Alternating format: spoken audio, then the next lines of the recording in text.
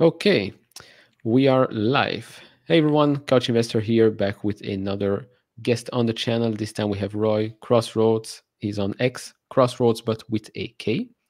So the link will be down in the description as well. Today we are going to talk about PayPal, the bear case, the PayPal stablecoin, and I'm start with maybe some breaking news that will lead into the the bear case points. So Roy, welcome on the channel. Thanks for having me. My pleasure.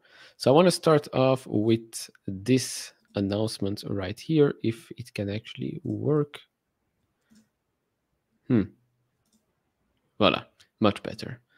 So apparently, there was a report by The Information that said PayPal ramping up new features to compete with Apple Pay and Stripe. We know one of the bear cases, let's say, is that Apple Pay, Stripe will eat into PayPal's business.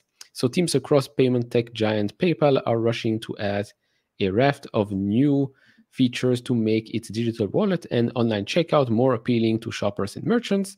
PayPal's new CEO, Alex Chriss, is ramping up efforts to defend itself against competitors such as Stripe and Apple Pay in a project codenamed Quantum Leap.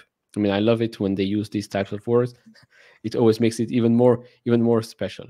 Um, oh, so, yeah. Quantum Leap reportedly includes streamlining the checkout process, redesigning PayPal's consumer app, and quicker integration for merchants, among other features. And I think you already talked a little bit about that in the latest earnings call. Um, I mean, we all know that the less clicks, the better when you check out. Um, we know that the ecosystem for PayPal, whether it's integration with Venmo, um, with everything else, needs to be streamlined. And this is something that they will touch on. It will take some time, but I mean, the focus for the new CEO is definitely to to make things a bit more integrated and seamless for well small businesses, medium-sized businesses, enterprises, and just customers like like you and me. Um, so yeah, are you surprised that this came out already right now, or do you think this is well, this was bound to happen already before the end of 2024? Uh, yeah, I don't know that they'll officially launch this before the end of 2024. They might. Um, it's getting close. So this was something that John Kim uh, alluded to in, in, an interview back in August.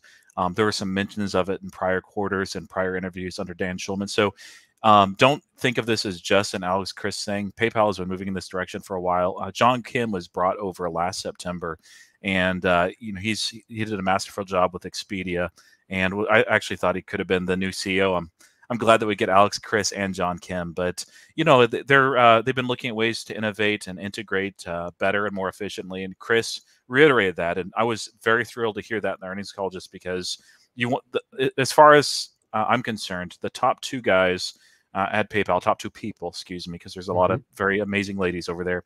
Uh, is Alex Chriss, the CEO, and of course John Kim, who's brought over from Expedia as the uh, chief uh, chief technology officer now. He different title. Uh, and with these two guys working in harmony, you know, they're going to uh, bring a lot of this into play. And so there was some allusion to this in an interview. Um, I, I, put it on my channel back in August 31st or something like close to the end of the month.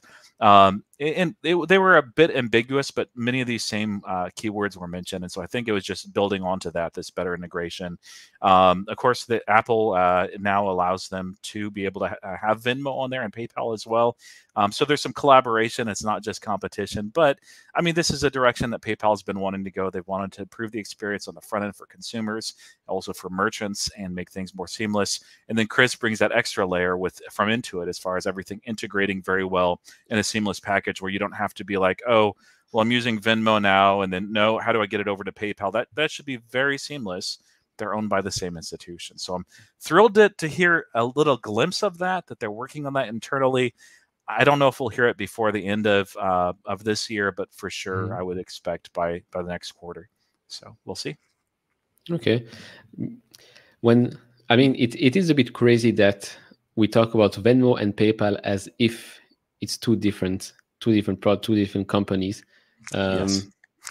and yeah, I mean, it still grows. It's still very very popular. Venmo. I mean, I can't use it because in Europe it's not available. But I mean, the United States, it's everyone's Venmo. Let me Venmo this, or let me Cash App you this. Even if they have Apple Pay, that's also something I, I heard recently. That even those that have Apple Apple Pay, choose to use Venmo, which, in my opinion, I mean that's that's a pretty big deal. Even though you can send, I mean, I found this out because I don't have an iPhone, but on iMessage you can also send money um, to people, and still people prefer Cash App or Venmo. So, I mean, okay, that's yeah. that's a pretty good indication. When your product becomes a verb, you know you've done well. So uh, I, they'll always keep that name there, but there needs to be better integration. And PayPal, uh, we won't talk about this as far as a bear case, but in the past, which I see changing under these two, and this announcement alludes to it, um, they've not integrated their their products very well. So when they do, do a, a, an acquisition, a merge, well, not really a merger, but acquisitions in the past, those have been handled for the most part quite inefficiently. That even in really excellent cases where it worked out well, like Braintree, uh, they, they really messed up. There's a lot of opportunity that they lost along that way. Uh, and so I see that changing uh, under John Kim, under Alex Chriss. Uh, you know, one of those, I, I don't know. I, I don't want to get into it because it's not really the, the point of the discussion. But uh, no, they, they definitely are, are steering uh, or changing the, the direction of PayPal. it's going to be a, a, more integrated focus. And so announcements like this, you know, are only further confirmation of what they're trying to do internally. Now, whether they're able to succeed in doing it or not, we'll have to see. but with uh, the, the, people that they're bringing on board, and especially Kim and Chriss, who have done this before with other companies, I, I and and Diego as well that, that came over from Verizon. I, I think that they mm-hmm. have an excellent chance of success. Diego Scotti. I agree. I think. I mean, I've heard lots of lots of criticism on, on PayPal. I can understand it's a it's called it legacy type of business. It's it's maybe another IBM. Who knows? It's going down, taking market share, it's not innovating, etc., etc. Okay, fine. But at this price, I mean, it's a bit silly not to take the risk reward here uh, for for PayPal, which still has over 400 million users. I mean, why not take a chance on on this thing? Um, now, why not? We're going to talk about the the bearish uh, mm-hmm. the bearish points right now. Um, I'll pull up your uh, your tweet here um, in case someone wants to wants to read that as well. Um, so yeah, maybe you could go through your your uh, your bear case. Let's say for yeah, uh, yeah. for PayPal. So just just to preface this, I am a, a PayPal bull. Um, I, I, think that it is important for those that are bullish to also consider the other side of the coin. It's real easy to just be um, to have confirmation bias and everything that you see is, oh, yeah, this is great. There's no flaws in the company, and that's frankly not the fact with PayPal at all. In fact, up to this point in time, the Bears have been right, and there there is a credible bear case here. It's not uh, impossible. It's not you know hasn't been discredited fully. I think it has soft, softened and changed since the previous quarter. It's all tend to do these uh, quarterly updates. But yeah, the bear case basically there's three main uh, legs for it. Uh, so the first one is macro. Of course, in a macro scenario where there's a massive global recession, uh, a durable goods recession, everybody's going to get hit especially fintech. And of course, PayPal is a global company, so it's going to get hit very, very hard. And so that's been a bit of the case is a lot of people have been forecasting, and many still do, that there's going to be a recession next year. Now, most that, that are calling for that see a soft uh, a recession or a small recession, just you know, a small dip in the United States, maybe a bit more, especially over in Europe. Uh, and I, I, think maybe you can speak on that. But uh, no, that if if that actually happens, uh, or if it actually is much worse than anticipated, and some are calling for this a massive global depression, PayPal is not going to do well. Uh, uh Gabrielle Rabinovich, she was the uh, acting CFO before they hired Jamie Miller, mm-hmm. and uh, she was asked in a, a really uh, interesting interview. Uh, it'd be late September, I believe. What keeps her up at night? You know, what's the biggest worry? And it's macro. other payment processors have alluded to it as well. There are macro concerns. Worldline, you know, of course, came out with this bombshell a month, six weeks ago, where they basically spelled gloom and doom in their space, at least in Europe. And uh, of course, uh, Visa came out uh, with earnings about the same day. There have been other payment processors as well. Adyen had a great investor day. Uh, PayPal, Square, uh, Square's not really exposed to it over or Block rather in mm-hmm. Europe, but all of them have basically said no. Uh, 2024 might be you know a little bit choppy. there may be even a little bit of recession there, but they're not saying what Worldline is. so most of the figures, as far as the macro, Uh, it's still valid, it's still in play, but there's been a lot of positives, uh, especially in the United States. GDP figures have ticked up. There's been a really strong opening for holiday spend. Those Cyber Five uh, have been particularly strong. Even Alex Chriss, the CEO of PayPal, chimed in and, and noted how uh, strong the, the um, five days were. Now, we don't have anything to compare it with just because PayPal had not been incredibly transparent about that holiday mm-hmm. spend, except I believe in 2021. So transparency is changing under Alex Chriss. It's great to see, but we don't know how good of a quarter yet until they actually report. But yeah, for now, I would say that that's still a valid uh, argument. Now, uh, you're over in Europe. Uh, can you speak to as far as like what the macro is looking like, the holiday spending in that? So, I mean, in Europe, it's been actually since 2008 where I feel like the economy has not really done much. I mean, if you compare it to the United States, it's it's it's ridiculous. It's ridiculous, and it's because well, United States you have more, let's say, regulations that give give startups, give large companies the incentives to actually invest, grow, and that's how your GDP is actually growing. I mean, there's yes. very little incentive in at least in Belgium, probably in other countries in Europe as well, to to start a, a company, to be a startup in Europe because taxes are so high I mean, in France, they're doing some some good things, I think, even though they always complain that they have to work too much there. But that's that's our neighbors. But yeah, Europe's economy is is def. I mean, we can see this with the euro as well. It's it could be much much better, but all they do is is regulate, regulate, regulate on everything, on big tech, on AI, on it's it's ridiculous. Like they put shackles on every innovation that that you put out there which is again why I still my I mean 100% of my investments are US US companies because I mean like Warren Buffett said never bet against the United States and why should I pick pick a continent or or another country that that just doesn't like innovation doesn't like I mean new companies?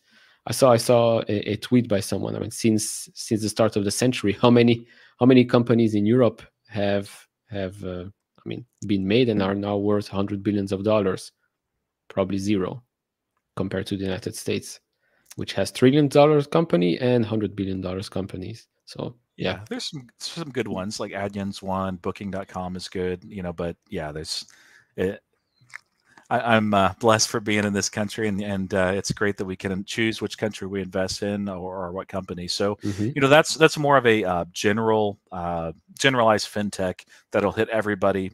Um, not equally for everyone, but certainly it'll hurt PayPal. But very specific to PayPal, and probably the most credible bear case I, I, think the largest contributor as well for why the stock price is down and didn't rise as much as you know I would have hoped with an amazingly well done earnings call. But as far as results, they were they were solid. Mm-hmm.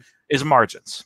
Uh, margins yep. for PayPal, you know, have been cited uh, for quite a bit. Now, this is a little graph here that kind of shows that decline, but you know, look at that main number right there. You can see where you know the course their margins had ticked up somewhat, and it's been pretty clear that the trend has actually gone down. So, so their uh, their gross margins uh, have not inflected, and they've been talking about a gross margin inflection for uh, several quarters now. Uh, under Dan Schulman, I think he began to allude to it back in quarter one, if I'm not mistaken. It may have been quarter two. He's he's out now. Alex Chriss came in. Uh, of course, this was his first earnings call, but previously in quarter three, Schulman, Rabinovich, and others had set up this expectation for quarter four, uh, or excuse me, quarter three, uh, for that to be the point where margins would inflect the gross margins. Net, net margins already inflected because they've done a lot of in-house cutting, uh, mm-hmm. which has led to a lot of growth uh, in, in, the EPS figures. But uh, as far as the gross margin inflection, it didn't happen. We actually saw it slow down as far as its rate of decrease. Now, there's a lot of reasons for that.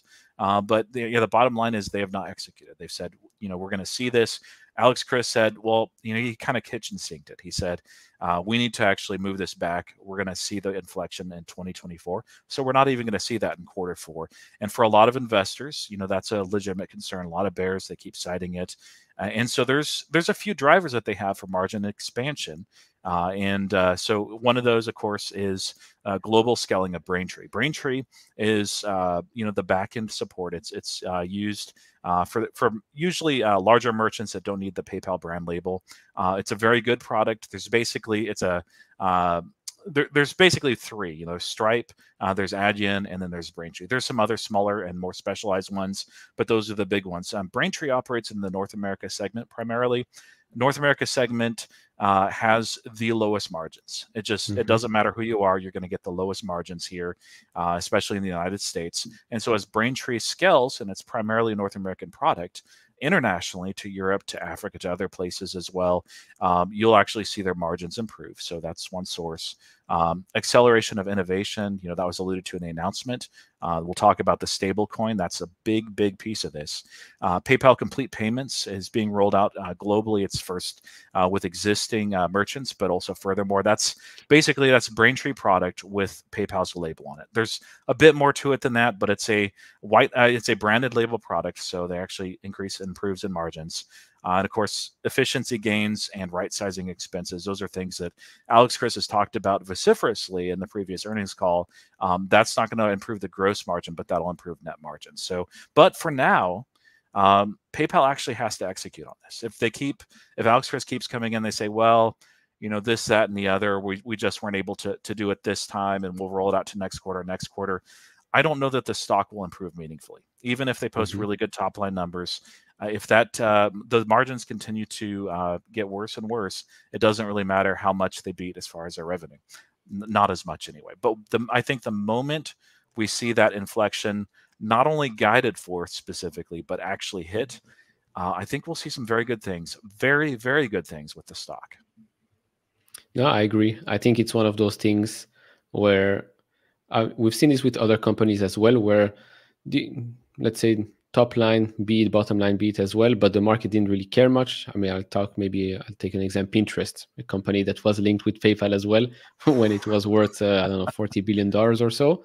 Um, yeah, I mean they beat top and bottom line, but since monthly active users continue to go down, market didn't really care about about the beat. I think we could see the same thing here with PayPal once the margins improve or maybe the bleeding has stopped um, the market will definitely react positively.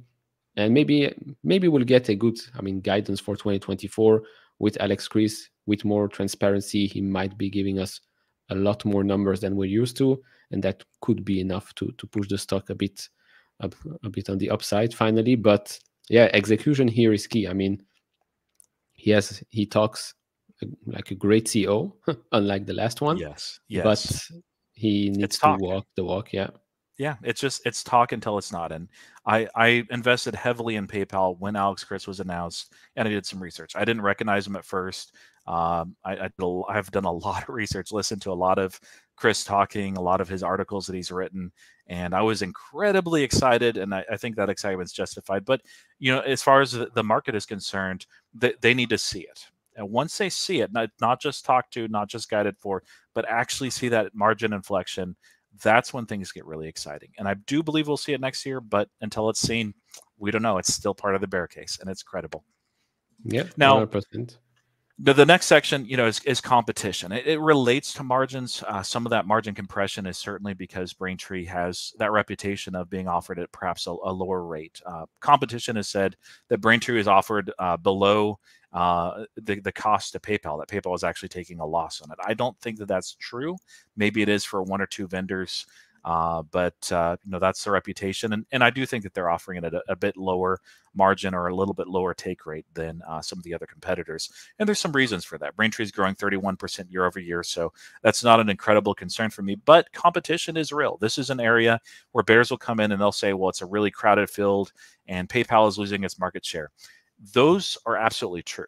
Bears are 100% mm-hmm. right on that. There's a lot of payment service providers, uh, small ones, large ones, specialized ones like Toast, uh, and uh, oh, their t- their symbol is four, uh, Shift4. Yeah, really Shift good. Four, yeah, uh, yeah, yeah, re- really excellent uh, company. I'm not invested there, but there's a lot of excited, exciting ones in this space. Now, the main competition you can break it up into a few categories. So you have the tech giants, and of course, Google, Google Pay, Amazon Pay, and Apple Pay are all threats of those, Apple Pay, of course, is the most cited.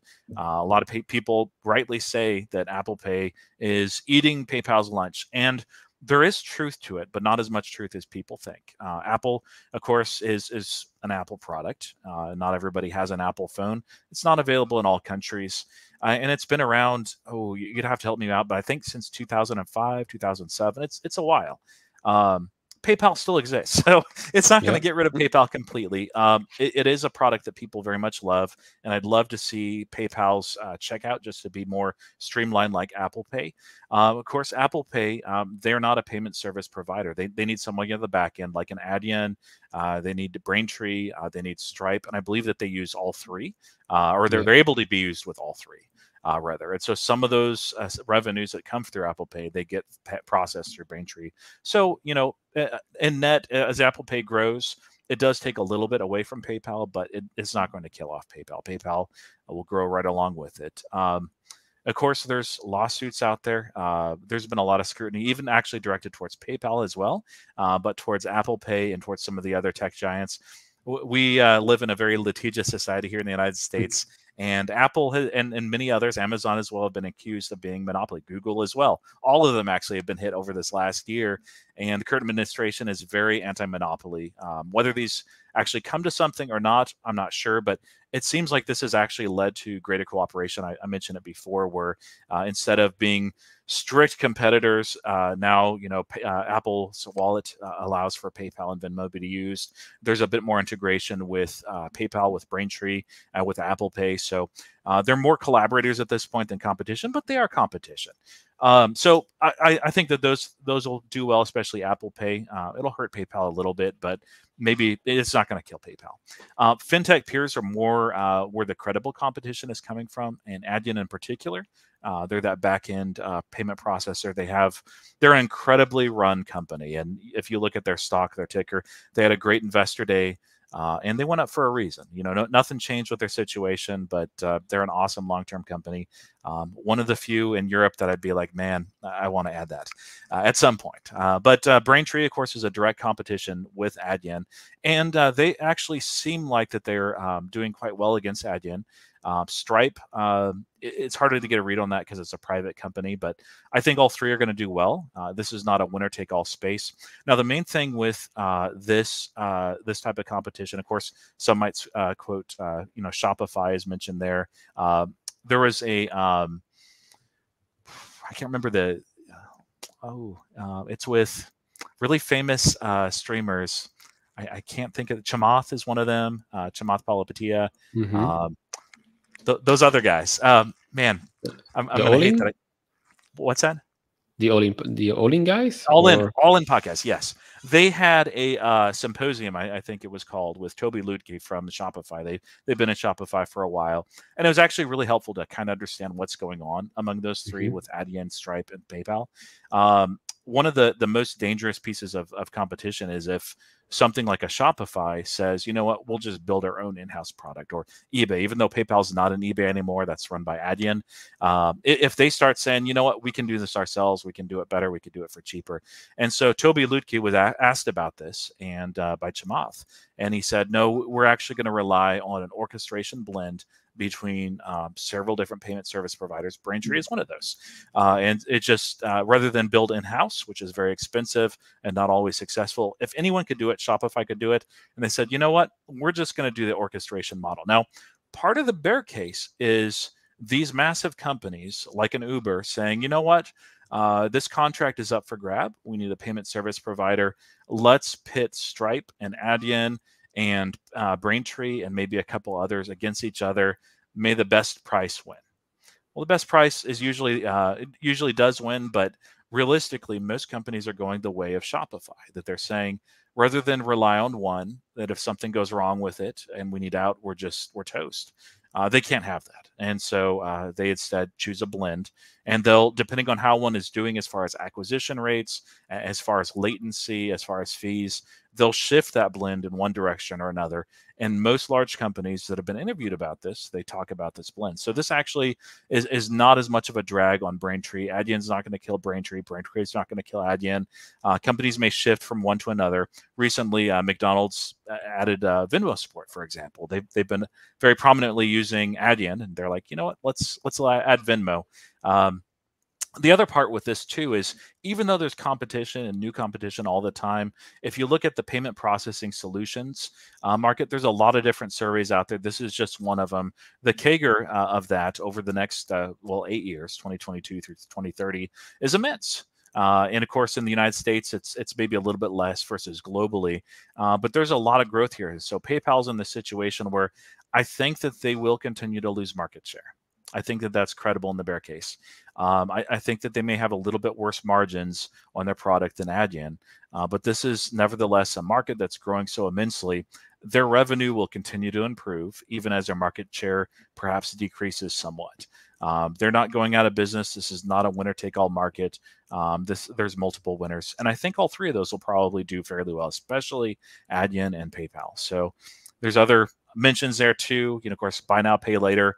Um, that's all the rage. I think after this post, uh, that was uh, a big piece of the Black Friday success. PayPal has a yep. great buy now, pay later product, although it's very small. Uh, and so there, there's areas where uh, for perhaps uh, like the peer-to-peer payments, uh, like Cash App and Venmo, they're direct compet- competitors. Uh, PayPal kind of does it all though. So there lots of competition, but it's a growing space.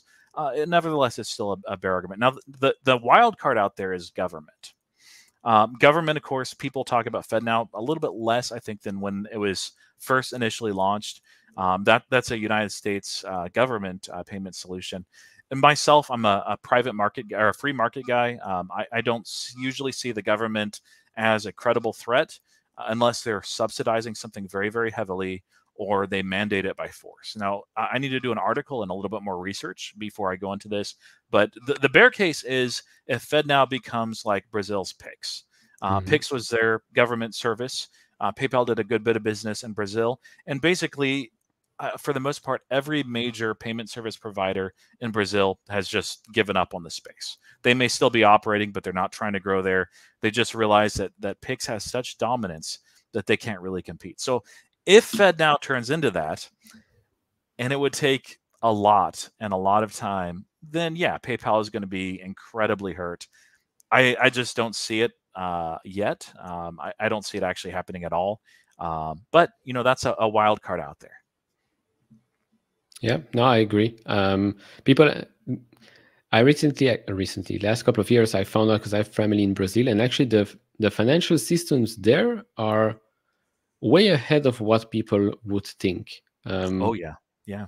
I mean, it's in Belgium, for example, sending money from one account to the other still takes around a day or so. Right now, previously it was two, three days, and in in Bra- Brazil, for example, this has been the case. I mean, for for many many years, where you can send money and you get it. I mean, in a couple of hours or so, which I was pleasantly surprised.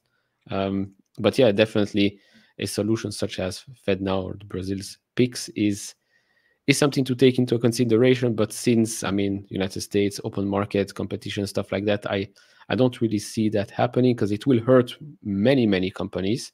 Um, and well, you hurt many companies, you hurt businesses, you hurt employees, and then well you have more unemployment, which isn't which isn't the point.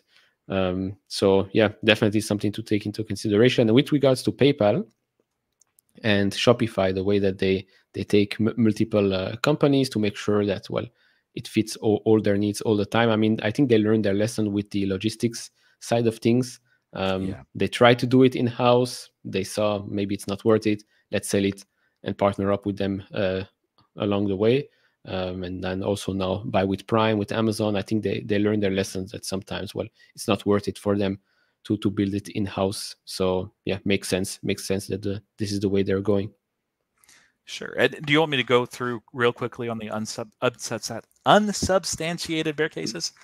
Yeah, uh, I mean there is a bear emoji, so yeah, yeah, yeah. All right, these ones are thrown out often, and I don't find so the the previous ones we talked about. You know, there's two sides to a coin, but I would say yeah, the Bears have a point with every single one of them. Uh, some more substantiated than others. Margins is of course the most significant. Macro maybe second, and then the the competition third. Uh, unsubstantiated means I don't think that it's really a piece of a bear argument at all. Uh, there's a couple of reasons for that. So the first is active accounts. Now, if you look at that graphic, it's straight from PayPal earnings. Uh, good mm-hmm. numbers 428 million active accounts. Active accounts are defined as somebody using PayPal once in 12 months. merchant uh, personnel. Hopefully, they break that out as far as knowing yeah. what's a merchant versus not in future earnings. Uh, so it, it's uh, you know, it kind of shows that, that, shift there. You can see that it peaked, of course, uh, at the end of the, the COVID cycle. Uh, and a lot of those were COVID accounts or they were subsidized accounts in the United States when they were giving funds. Uh, one of the ways you could receive it is through, I believe, Venmo, but I know for sure PayPal as well. And so some of those accounts simply existed just for that. Um, also, during COVID, Schulman and others said, you know what, we're going to uh, make active accounts our most important definition. We want to grow at all costs. It doesn't really matter what it costs us. And so they heavily subsidized that. And as a result, they spent a lot of money. They gained some active accounts. Uh, but when you're paying for people to use your product and they don't do anything beyond that that's not great so the more important number you can see that that yellow line is hard to show up there that's transactions per account that continues to improve and so rather than focus on getting these accounts that may use PayPal once or twice per year. They're focusing on those that use PayPal again and again and again regularly. Uh, and so I'm, I'm one of those. I'm, I'm using it a little bit more often here, especially as an investor.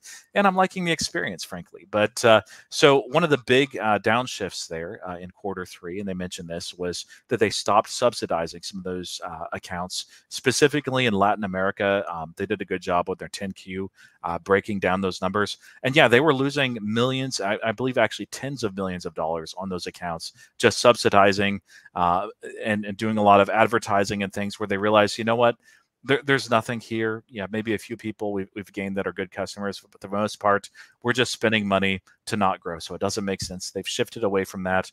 Uh, Alex, Chriss, and others have alluded to active accounts continuing to grow. But as long as you're seeing that the transaction uh, volume actually increase, and of course the transactions per account, uh, and it's growing at a healthy clip, 13%. Uh, I don't think that the bear case is credible here, uh, especially when they're saving money uh, to let some of those subsidized accounts bleed off. So as long as we see this actually improve over the next year, um, I, I, think that we're fine. It's actually a very minor slip. Um, so second piece, of course, FedNow. We already kind of talked about that, and then mm-hmm. XPay is is the other uh, one that's thrown out there. Um, I, I I like Elon Musk a lot. where are you at, Neil? You, you like him? Uh, as far as yeah, I mean, uh, I have after thirty plus percent of my portfolio in, in his company, so yeah. I better like him. yeah, yeah. No, he's uh, I, I like him, you know, both as an investor and just you know his, his personality and, and what he does, you know, as far as innovation and dreaming big. And so of course he bought uh, Twitter, changed it to X, and uh, now has this uh, XPay idea. And so the idea is to make X a uh, not just a payment service provider uh, but also you know peer-to-peer uh, type and, and, everything app basically. So like we uh, Chat Pay is in China, that's his design on uh, creating uh, the X platform. And yeah, that's possible, but you know a lot of people don't trust Elon Musk. they wouldn't trust X with their money. The product doesn't exist yet. Elon Musk, he can do I think anything that he has his mind put to and his time set on. He's divided between a lot of projects right now and even if this really happens, as far as timelines, uh, we know as far as full self driving, as far as Cybertruck, like they eventually come, but it takes a long time. Uh, I don't know that we'll ever see an XPay, or at least one that's a, a credible threat to PayPal. I, I tend to not uh, believe in products that don't exist. Uh, and so we'll just have to see if XPay comes and if it is a credible threat to PayPal. Maybe that's in five years. You know, they'll, they'll announce it maybe before, but I, I, don't see it doing anything over the the short term. Um, but uh, we'll have to see. So I'm not putting much thought into that. But yeah, there's a bear market here, uh, or not bear market, bear um, argument here. Uh, mm-hmm. There's several different directions you can take that. Uh, for myself, I think it's still one of the best risk to rewards mark in the market as we enter 2024. There are some risks, so you know if you're choosing to invest in PayPal, just don't discount the risks. Don't make short-term bets. Um, invest what you're comfortable with.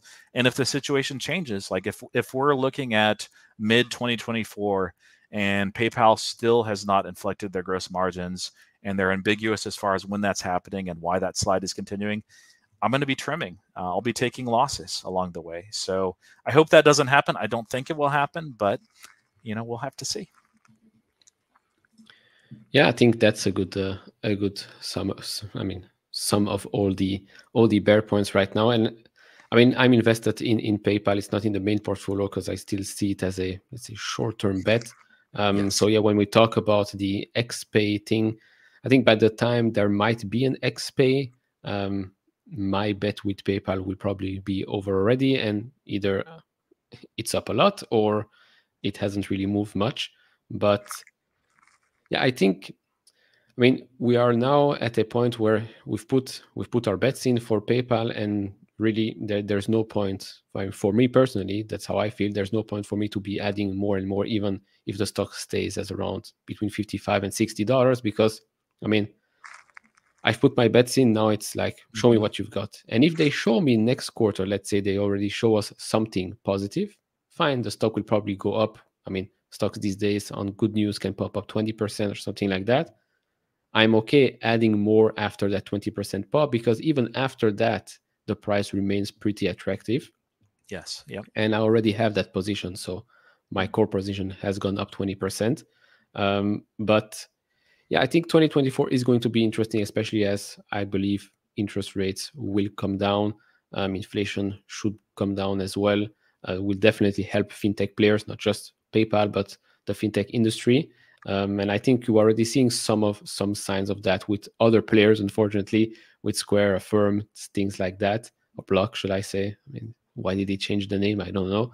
Um, but yeah, I think I mean, PayPal is is very very well positioned if managed correctly to to grow much much more than what it did actually in the last year and a half or, or two. I mean, coming out coming out of the pandemic and definitely becoming a, a stronger company because yes, it's free cash flow positive. I mean, it's buying back five billion dollars worth of its own shares, but that five billion has been five four billion for the last I don't know five years or something like that. It has not really improved much.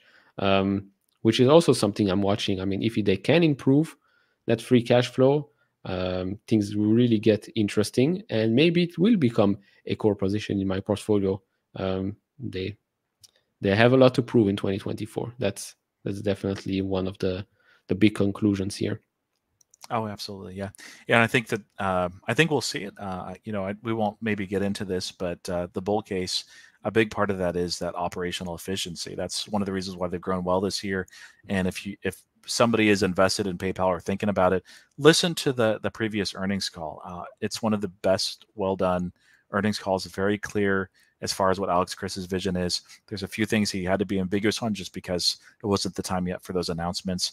Uh, but the direction that they're taking this company it's going to be a lot leaner, a lot more efficient. Uh, I think there's going to be a lot of cuts that are realized, and so that uh, non-GAAP EPS growth, I think, will be mind blowing. Uh, we'll have to see. Uh, we haven't seen those announcements as far as the exact cuts that, that uh, he's alluded to very heavily in quarter three, but it's exciting. Yeah. I mean, I like the announcement directly that they have that they're putting people into place for that different different focus in different business segments. And oh, I think yeah. it's important. I would love to see them focus a lot on offline payments. I mean, in-store payments. This is something that Square really Square, not Block, but Square, the business mm-hmm. does mm-hmm. does very well. Toast does it as well. I think it's it's a big deal that that PayPal maybe I mean wouldn't say drop the ball, but it's a it's a missed opportunity in in my opinion. Um, yeah. But who knows? Maybe maybe they'll do that uh, further down the line. I think they have a lot a lot of work to do anyways, but uh, it's it's definitely something that I was like, hmm, this this could have been a good a good revenue stream for for them. Yeah, absolutely. Yeah, they they dropped the ball. Uh, pretty much every single acquisition they've had, except for maybe Venmo, uh, has not lived up to its potential. Even Braintree hadn't grown maybe as much as it would have if PayPal hadn't held it back just for the sake of branded. Um, Zettle, Xoom, same thing. Honey, uh, whew, Honey is it's useful, it's but very, man, they paid yeah, so much. Very, that's four billion, was it? I yes, think? yeah, and yeah. Happy Returns was one of those happy returns where they sold off, and I'm, I'm glad mm-hmm. that they did. But uh, no, this is it went from kind of a Frankenstein's monster where you have all these different parts uh, trying to become the everything app, but really poor integration to if it doesn't fit, we're going to sell it. We're going to get rid of it. If somebody is redundant, we're going to go ahead and remove them. Uh, and we're going to just streamline things and have that much tighter focus and better integration. We should see that next year. If we don't, I'm out. but I, I think that there's a very good chance that we see just the quality of people that have been brought on. They've done this before. So, and, and one of those pieces that I'm really excited about as far as that innovation uh, and integration is, of course, the uh, stablecoin. Uh, so, if we want to talk about that, that's a yeah. Uh, uh, you want to? Mm, uh, are you able to bring up? I can bring. I can share if you need to. It's no. I think it's yeah. Yeah, so um, I, have written a lot on this, and there's a lot that's being written. Um, there's actually a um, so anyway, the the stable coin is PayUSD or PiUSD. I've heard it both ways. Uh, I prefer PayUSD. It just sounds better to me. Um, so this stable coin they announced in August, uh, not too much fanfare at all. It's just kind of announcement that was on their newsroom no media attention, uh, or it's very muted at least. And when I read about it, I'm like, whatever, it's a stable coin. How much could they do with it? Actually, quite a lot. And if anyone is interested in this, Paxos uh, is the, the one that actually issues the coin. Um, they uh, are having a um, a symposium with uh, with PayPal uh, I believe it's 11 a.m. Eastern time. Um, you have to register for it. So just go to uh, Paxos. Uh, I'll be listening in and just seeing what's there. Uh, but basically, the stablecoin, I was thinking of it as a, an, opponent or opposition or competition to Tether, uh, which of course is immense, and they do make massive revenues off, or USDC. Um, stablecoins, there's been a lot of issues with them, and so it's kind of unique with PayPal saying, "Hey, we're rolling out a stablecoin because th- this is not just all that they do. They they have this credible name with them. People still love and trust PayPal for the most part, although they've made missteps along the way. I'll acknowledge that. Uh, but mm-hmm. uh, if you look into Tether, uh, there, there's a lot of sketchiness, a lot of concerns, uh, and of course, there's been a lot, a lot. And over I the mean, I, uh, last, I still believe it's it's not fully backed by the the amount they're mm-hmm. saying. I think it's more close to being fully backed, but I don't know what percent they're at. It's not 100%. Uh, and there's been uh, a lot of stablecoin issues over the last year and a half. Uh, thankfully, we're moving away from algorithmic stable coins and that sort of stuff. But so PayPal is one of those where uh, they, they, allow themselves to be audited. Uh, I believe it's monthly uh, by a New York agency, uh, a government agency, by the way. Uh, and so they they show that hey, everything is, is up to date. We fully backed everything. Um, there there's no concerns there.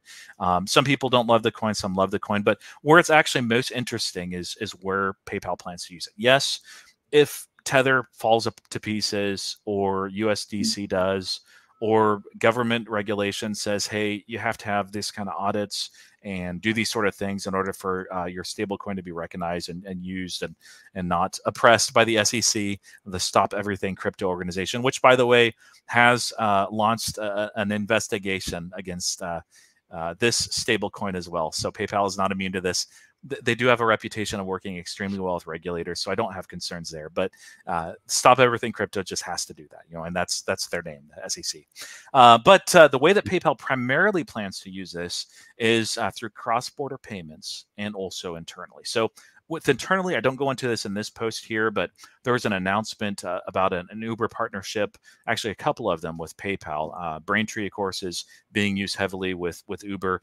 Uh, but what was really interesting is there was an option for Uber drivers uh, to get a PayPal wallet and be paid the same day uh, through uh, PayUSD going directly to their wallet just as these transactions happen. So instead of waiting whatever processing times or having that paycheck that comes, you know, every two weeks, PayPal is like, hey, that's antiquated. Why are we doing this? We have this stable coin. Let's just use it right here. Um, so that, that was one of those internal uses that might drive a little bit more attention to the hyper wallet. Um, but the, the main play, I think, is with the cross-border payments. So right now, cross-border payments are uh, the, the largest margin of any product for PayPal. Um, they, if you try to send a payment from uh, United States to, to China or Africa or anywhere, you're going to pay an arm and a leg. It's going to be incredibly expensive. Now, we as, as American consumers, I'm sure it's the same in Europe, that when you buy something from another country, you may not see that, but the merchant is paying those very, very high cross border uh, fees.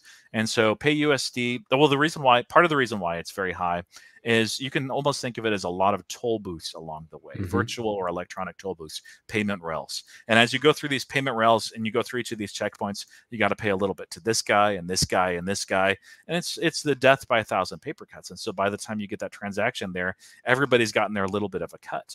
Now, if you build payment rails on a stablecoin system, you can make it actually incredibly uh, more uh, uh, less expensive and uh, save and bypass all those checkpoints. So it's just it's kind of like developing a system of teleport uh, teleportation rather than going through all these payment rails, which can take several days.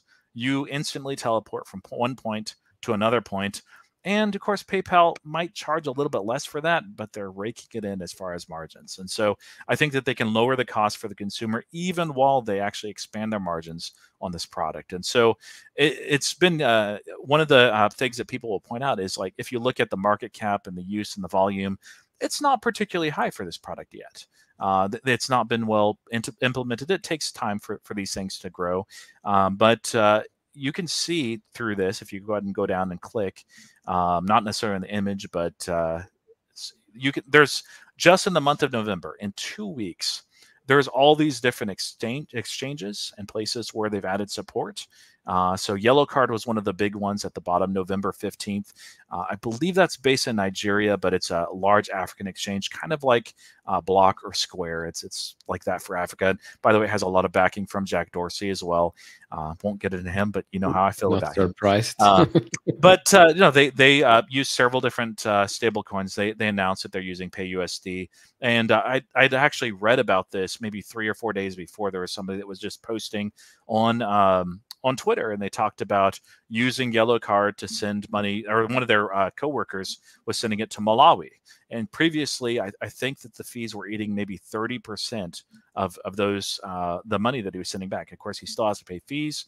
Yellow Card gets theirs, PayPal gets theirs, uh, but it's a lot. It saves the, the end consumer a lot while PayPal is able to make a little bit higher margin. You have multi money down in Central America, PDAX uh, and uh, Coins PH in the Philippines, uh, Cayman Islands as well, bullish crypto exchange, uh, and the Hive added support, and then you have Ginkgo, which was that the most recent announcement of November mm-hmm. 28th, which is really interesting. Uh, just uh, the way that that can be used. That you even you as a tourist can go down, uh, and and maybe we'll go down there. I've got a sister that's planning to go down to Belize, uh, and and instead of carrying cash or uh, traveler's checks, you know that's old and antiquated you can uh, have your PayPal wallet and have PayUSD and be able to use that.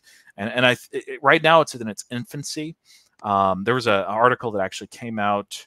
I believe it was yesterday. I just posted on it today uh, with with the PayPal guy um, that uh, uh that uh, runs the stablecoin. I, I have to get his name here. Oh, Jose uh, Fernandez Da Uh, so he actually came from a Latin American context uh, in payments, has been working for PayPal for quite a while, and uh, talks about just how well um, this product can be integrated. Uh, he says one of the quotes from that article is uh, that when, what got his interest and PayPal's interest is you can move value around 26 times cheaper than current banking rails. So yes, that's good for the consumer. It's also good for PayPal, who can disrupt some of these that have been in place for a couple of decades. So it'll be very interesting to see what's going to happen. Of course, there's a short term and a long term case as far as what happens in 2024 with the regulation, the compliance, uh, the transparency, and then, of course, the growth of these individual regional exchanges. And then beyond 2024, uh, he especially sees us growing overseas, Latin America, Southeast Asia, Africa, as we see uh, really just in the last two weeks in November. Um, and there's a possibility for an S curve here. There's been a lot of stablecoins that have launched. A lot of them have gone nowhere. But I will say most stablecoins, when they launch, they don't have that name recognition, that backing that PayPal has, and they don't have nearly 430 million active users to be able to use their products. So I think that this could be a, a pretty big deal uh, over the coming years. Over the short term, I do think that we'll see some of the impact of that in 2024. Uh, but if I end up going long term in PayPal in 2025, 2026, and over the next decade, this is going to be a big piece that I think factors in that. Yeah, and I, I think it all, I mean, circle back to integration. Um, lots of great offerings, but the integration has to be seamless. It's, I mean, people probably a lot of them don't even know that this exists, don't even know that they can save money by using this product. And yeah, again, it's it's like you said, it's because they they try to create the Frankenstein's monster by just buying a couple of products here and there and never really doing much with the integration. Um, and again, this might be another one of those scenarios, or it can actually work out and they integrate it very very well in the whole PayPal ecosystem. One thing I'll give Block and Jack Dorsey and his team uh, credit is is is the ecosystem that is actually working. Square, yes. Cash App, uh, Afterpay. I mean, it's it's pretty impressive what they've done there, and hopefully, I mean, if they can do it with Jack Dorsey as CEO, I strongly believe PayPal can can definitely do this as well. But yeah, it's it's going to be interesting to see what happens with especially this this story right here because I mean undercutting offering cheaper prices while having higher margins is is definitely a, a way a way to go. Um, you get a lot of power from that as well, and so the the competition story here changes uh, a little bit.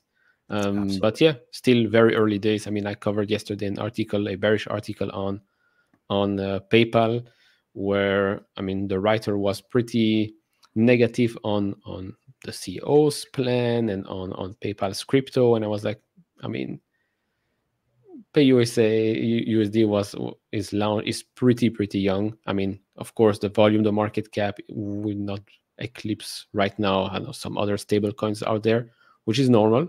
Um, and the CEO didn't even have a quarter to work yet. So, yeah, I mean, people need patience. I know. I know retail doesn't doesn't really like the word patience anymore because um, in the last couple of years we had things go up 30%, 50% in a week or so. I mean, even even more recently, um, I mean, I think Square is up, Block is up 60% since the earnings uh, since the earnings call.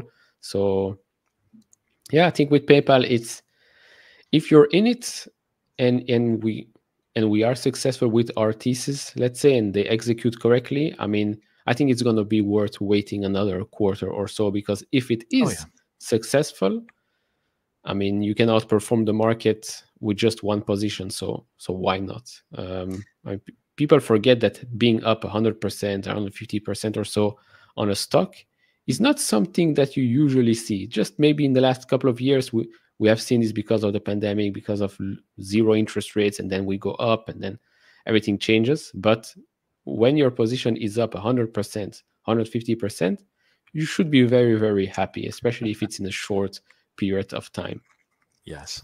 Yeah and, and i'll say this like I, will use an analogy here or metaphor rather. Um, I, I, see paypal and, and alex chriss alluded to this. He said oh, that he believes internally that they have all the right pieces all the necessary pieces. So you can think of paypal as an organization that's like a football team. We'll, we'll use your kind of football, not not American mm-hmm. football, but either way, where they have some some players that are maybe a little bit past their prime, like PayPal branded, that did really well in the past, that are you know a little bit downhill, but there's maybe still something there.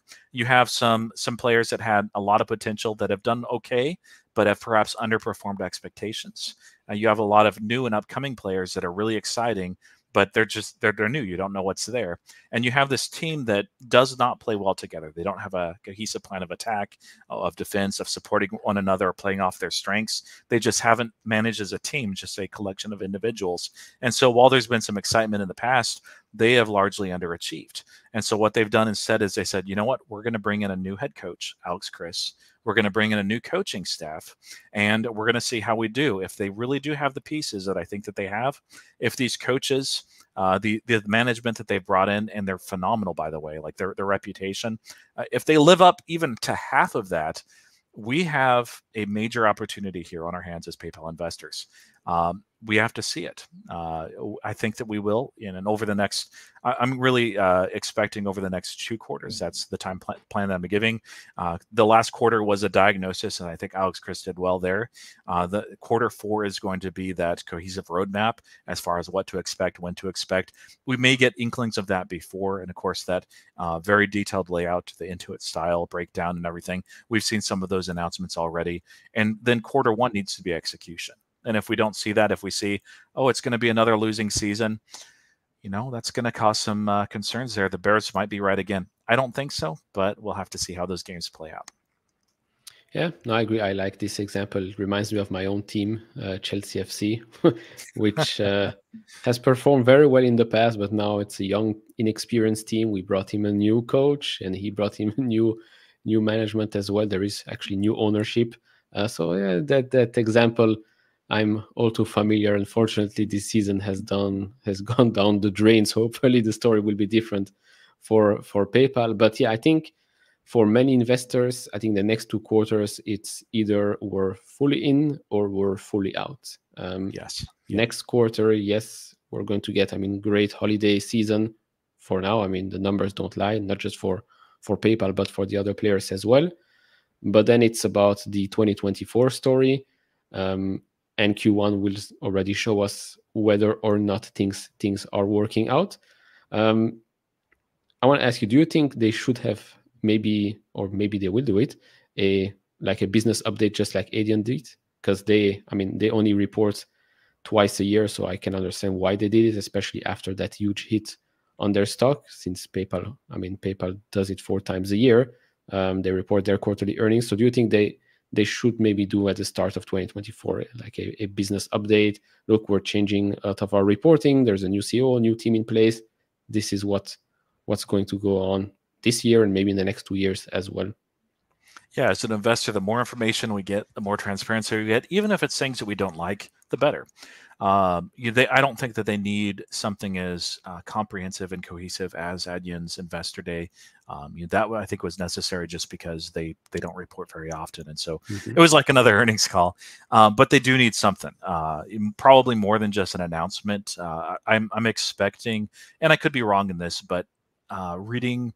Uh, well, it, I think it's very evident that Alex Chriss is talking about uh, making some cuts, including in in personnel, and so I, I think that when that announcement happens, whether that happens before the end of the year here or early next year, um, it, it actually really surprised me if no cuts happen before the next quarter. I'd, I'd, really want to hear why, because he was very clear at the earnings call. But I, I think that's going to happen. But when it does, it would be very helpful if at the very least that he made some appearances you know on cnbc or, or other mm-hmm. uh, institutions where he just kind of laid out why they were making the cuts that it wasn't because hey we're shrinking we're dying we need to make these cuts but like hey we have a lot of bloat. These were great employees we just didn't have a place for them.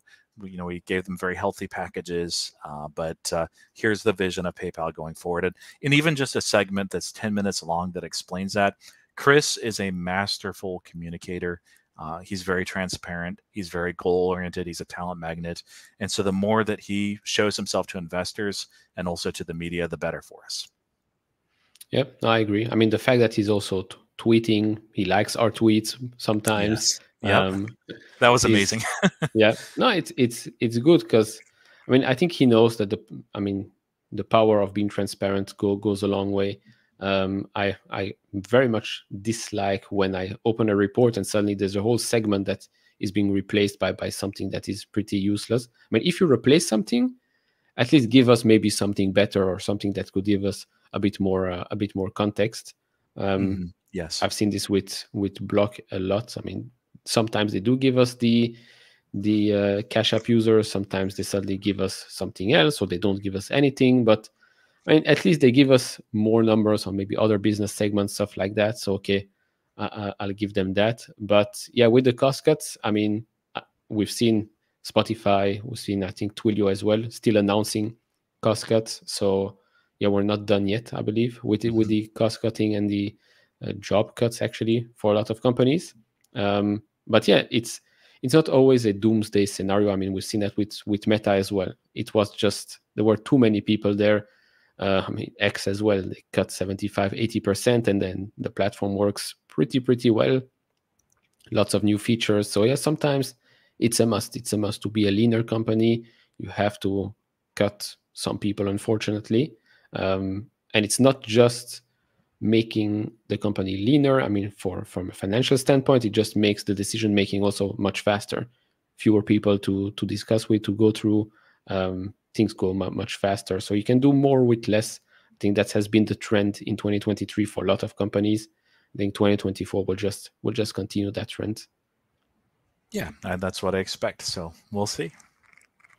All right, I think we're we're nearing one hour. So someone has a question or a comment. Now will be will be the time. I know there is one person. Any thoughts on today's dip? I mean, we had had that uh, that little report, but it's a positive report. So I don't see the, see why it should be impacted negatively, but I don't know. Today's dip was just another PayPal day, I guess. It, could be uh, tax loss harvesting. Um, you know, it's a phenomenon. Also, yeah. Especially if it's an institution that just decided, you know what, I'm I'm going to go ahead and take the losses here and buy back in next year, or, or not. Like they don't have to.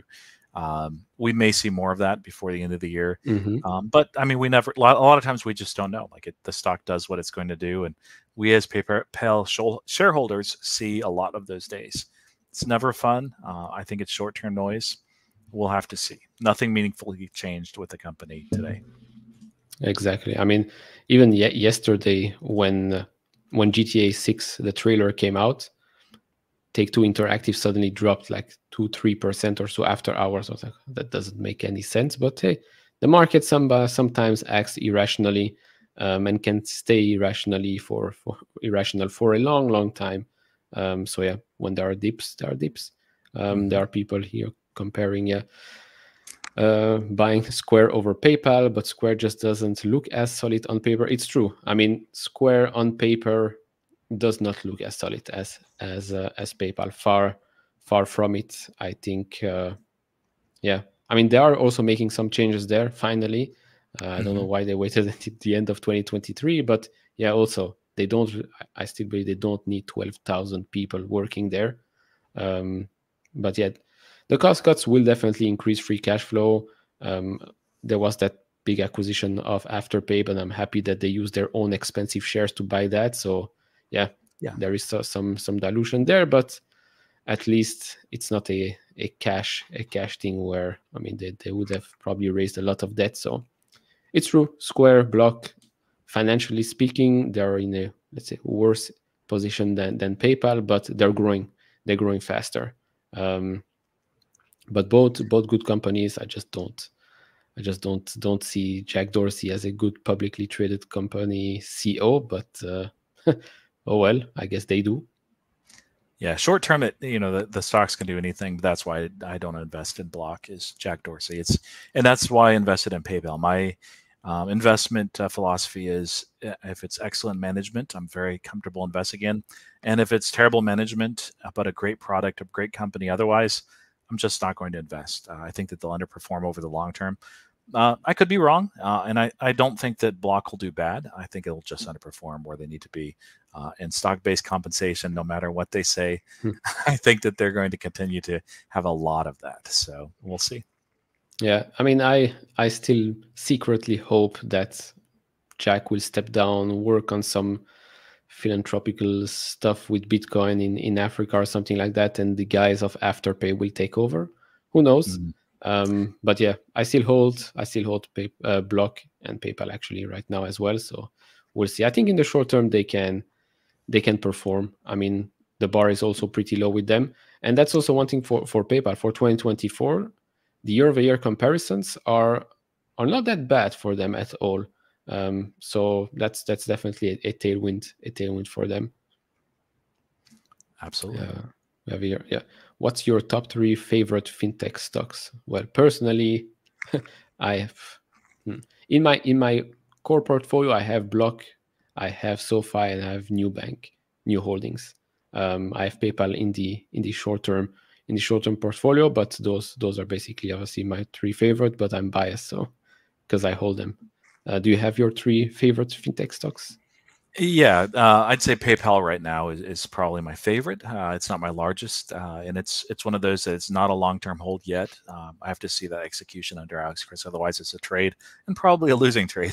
Uh, but uh, no, I, I I am excited by the company and the new direction for it. We've already talked about that. SoFi, uh, Anthony Noto is just exemplary leadership. They've pivoted incredibly well. the market, basically, the government took away their basically their product. They should be dead Instead, they are going to hit GAAP profitability for the first time this next quarter. Uh, it's actually my second largest holding right now, and it's one of those that's long term for sure for the next five years. We'll have to see. Uh, I could easily see that be a decade long hold, um, and I, I, think that they're very undervalued and underappreciated. The bear case there is pretty pretty weak. The valuation is very tempting and attractive, and it's all about that management. If you if you are interested in it, just look at Anthony Noto and what he's done with that company, which should be dead but instead has grown immensely. Does not grow like a bank; they're more than a bank, um, but you know they're mostly a bank. And then uh, Robinhood, I think, would be uh, the one after mm. that. It's it's my fourth largest holding. it's been a good week to own Robinhood, but you know the biggest piece with that is, is that shift. Uh, well, the, the long term vision is as millennials and as Generation X as well gets more and more wealthy, uh, platforms like SoFi, like even Block as well, uh, PayPal a little bit less, uh, and of course Robinhood are used uh, by that demographic. And so as their wealth grows, those products should continue to do quite well. Uh, Robinhood, I think that we're entering a, a, a bull cycle for crypto for sure. I still think that we're in a bull market, even though it's slowed down a little bit, maybe a bit mm-hmm. of a mm-hmm. Santa rally. Um, those are things that benefit uh, Robinhood. They've roll, rolling out uh, to the UK slowly this year, uh, and uh, over next year uh, they're launching their crypto wallets uh, or crypto trading uh, throughout the entire uh, uh, European Union as well in the yeah. coming weeks which is a really good timing, I might add. And so, and right now they're making a, an incredible amount of revenue off of cash swaps. So I think they're going to enter this this golden spot where they'll hit graph, uh, GAAP profitability again uh, this this next quarter. They were only slowed down uh, because of a lawsuit, which is why they went down to basically trading at their enterprise value, which was yeah. silly. Like they have no debt, they have a massive amount of cash, they have crypto holdings. It just it's I, I didn't understand the valuation, so I'm like, all right, I'm buying. I, I I just don't see it going down much further. It always can. The market can be irrational. We see that with most of the fintechs, but yeah, where they're going to hit, I, I, think this between this uh, uh, crypto uh, trading, uh, between the bull market itself, between the cash swaps, uh, just kind of this this perfect um, Goldilocks zone for next year. I think midway through, and we'll see that reflected, I believe, in the share price. So we'll see. Yeah, I mean, they're making quite quite some money on interest income as well. I know, yes, if interest rates come down, they'll make a bit less, but if interest rates come down, people usually are going to trade a bit more. Companies go up more as well um, in value, so so that will definitely benefit them. But yeah, I mean, Robinhood is also in in that same portfolio with with PayPal. Short term, mm-hmm. if things work out, could be could be a good long term. Um, I mean, those are. I put it in the in the short term because it's those companies where not a lot should go right for it to actually move up quite a lot. Um, yes. And the, the risk is is pretty minimal, especially at the prices I, I have. I mean, PayPal I'm at fifty seven dollars, so it's basically the price we're at we're at right now. So I'm pretty I'm pretty cool with that. And Robinhood I think I'm at ten, so right now I'm I'm also okay. Um, but yeah, I mean, one fintech stock that I would that I don't own but I would love, I would have loved is is definitely Adyen. I think um, yes. Mm-hmm. If I had this, if I had a spot in my portfolio, um, definitely that. I did i did a small trade in august when it when it actually dropped 50% but unfortunately after a jump of, of close to 25 30% i was like okay good enough. Could in have one day.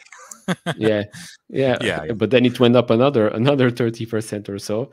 Um, but yeah i mean 30% in in a day don't have to be greedy it's good enough.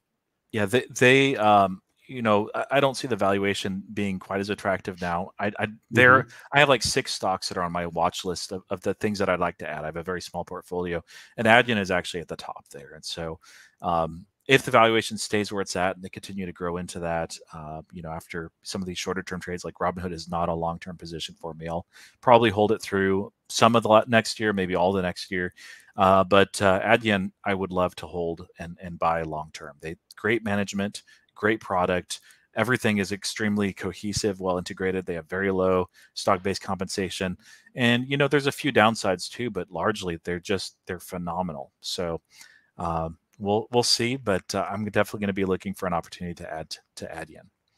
Yeah, I mean, in August, if if it weren't for the other opportunities out there, the the Robinhoods at eight dollars or so, or or the PayPal at, at sub sixty dollars, I might have bought that that big crash for Adyen because, like you said, I mean, management is just incredible. The product is very very good. Um, but yeah, we'll see. I mean, if if one of these short-term trades of ours, I mean, PayPal or Robinhood has a very very good 2024, and we're happy with the performance maybe maybe some profits will flow into a company like Adyen, which definitely I can sleep very well at night knowing that I own that. I'm not gonna be saying, oh, in a quarter or two I might be out of it because I mean, with that it's it's years and years of being extremely successful um, managing that business, and it's it's a European company. Yeah, it's uh, in the Netherlands. They actually have pretty good companies there. ASML is another huge, huge, huge company there. Um, also expensive, but I mean, great companies with great management deserve a, a big premium. So, yes. I mean, even after that 50% crash, it was still expensive, traditionally speaking. But I mean, they deserve it. They deserve it. Mm-hmm. Yeah, no, no argument there. So, yeah. So with that, we think we can end it. So thank you very much for coming on. Despite talking about PayPal's bear case, I think it's pretty clear we're both bullish. There are things to consider. Um, I think next two quarters will say a lot about where where we're heading as investors in PayPal. Whether we are still all in or all out remains to be seen. We'll see that in approximately five months or so. So thank you very much, Roy, for coming on. Thank you all for tuning in, and I see you all in the next one. Bye bye.